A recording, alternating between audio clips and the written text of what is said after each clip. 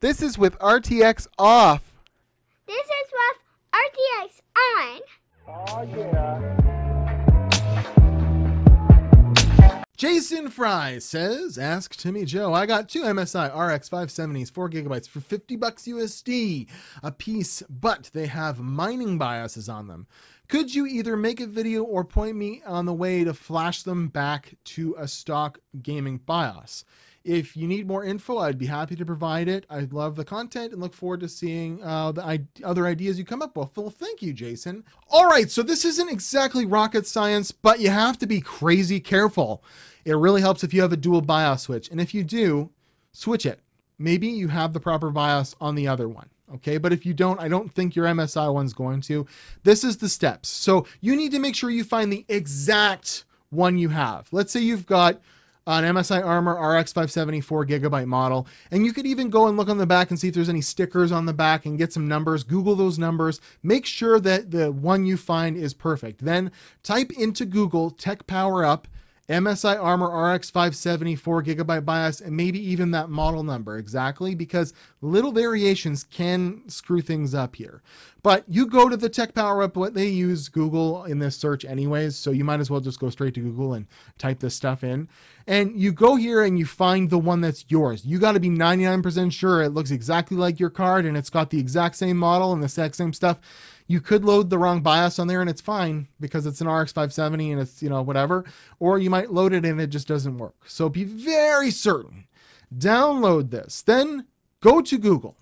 Okay. Type in ATI Flash. The first uh, thing that pops up is uh, the download from Tech Power Up. Click on there.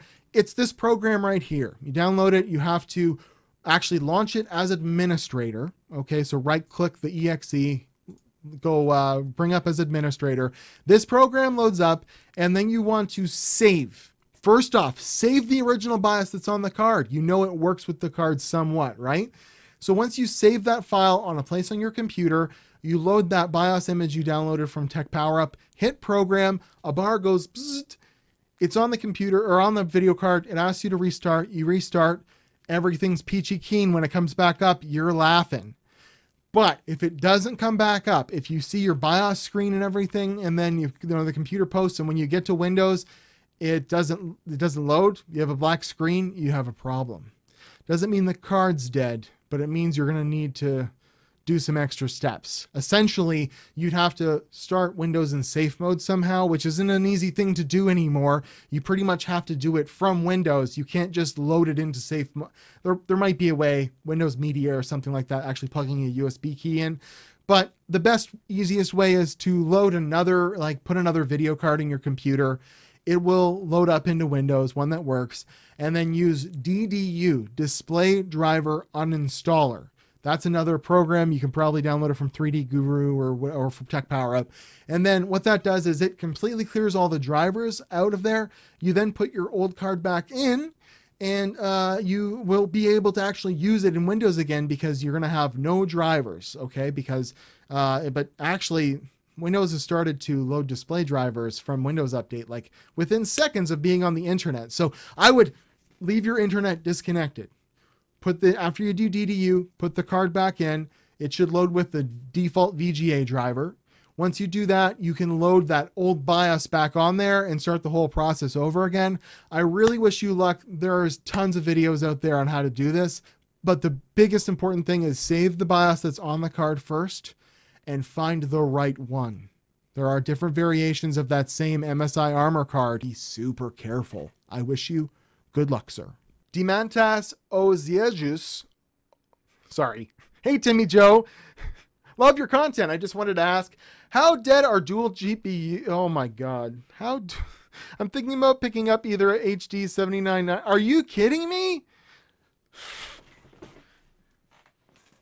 R9 295 X2 7990. They are the devil.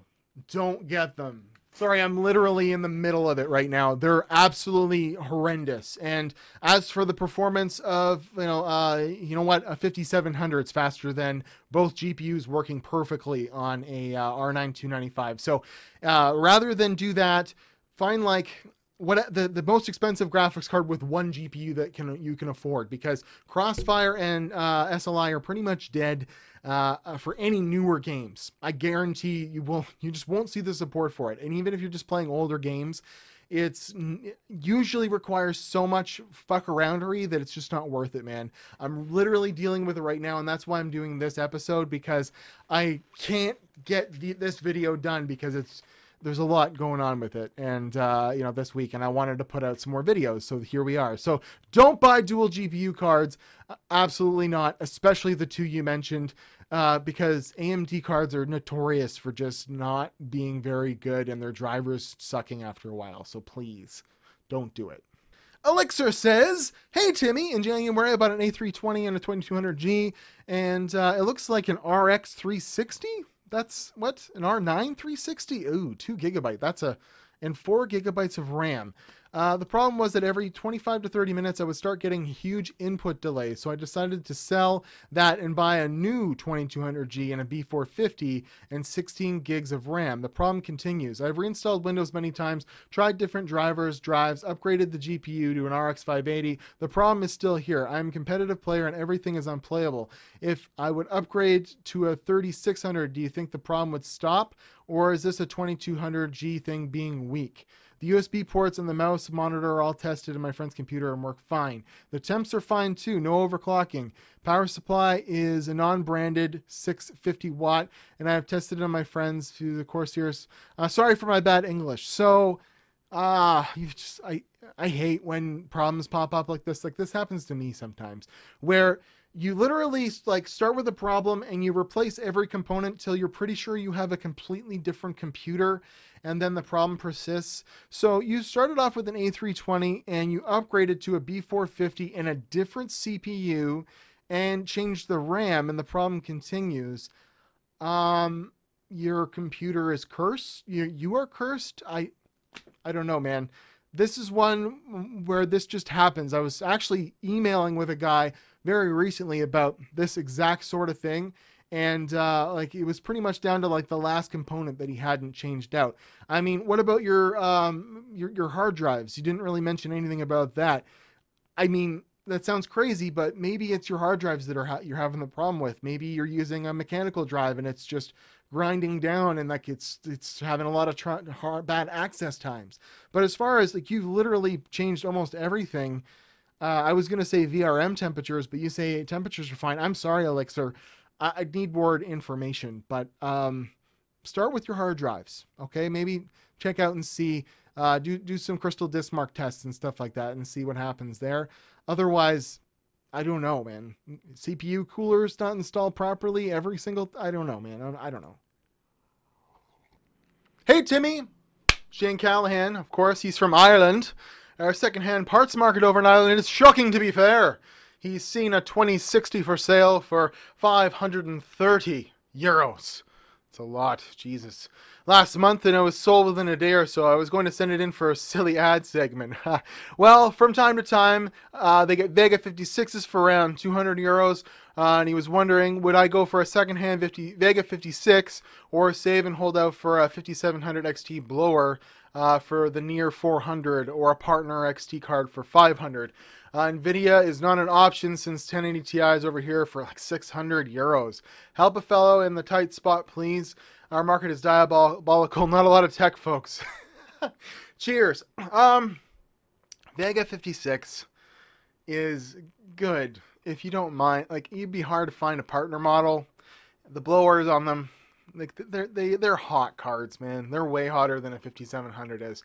So I don't know. Like really, the 5700 alone is much faster than a Vega 56 and a 5700 XT for 400, you know, even just the blower model is a smoking card. It's almost as fast as a 1080 Ti. I get the whole NVIDIA thing.